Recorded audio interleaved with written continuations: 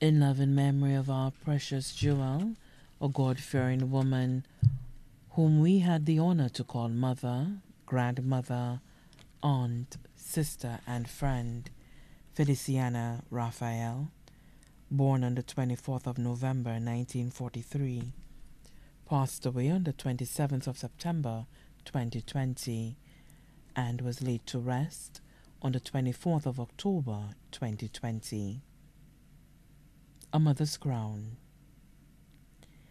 Heaven lit up with a mighty presence as the angels all looked down when the Lord was placing the jewels into my mother's crown. He held up a golden crown as my darling mother looked on. He said in his gentle voice, I will now explain each one. The first gem, he said, is a ruby, and it's for endurance alone, for all the nights you waited up for your children to come home. For all the nights by their bedside you stayed till the fever went down. For nursing every little wound, I add this ruby to your crown.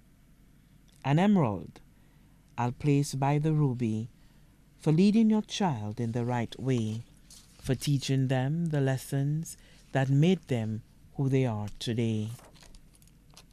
For always being right there through all life's important events, I give you a sapphire stone for the time and love you spent. For untying the strings that held them when they grew up and left home, I give you this one for courage.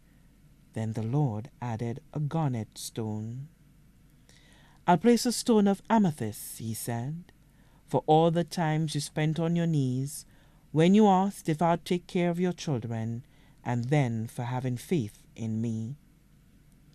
I have a pearl for every little sacrifice that you made without them knowing, for all the times you went without to keep them happy, healthy, and growing. And last of all, I have a diamond, the greatest one of all, for sharing unconditional love, whether they were big or small. It was your love that helped them grow, feeling safe and happy and proud a love so strong and pure it could shift the darkest cloud. After the Lord placed the last jewel in, he said, Your crown is now complete. You've earned your place in heaven with your children at your feet. Words provided by her family.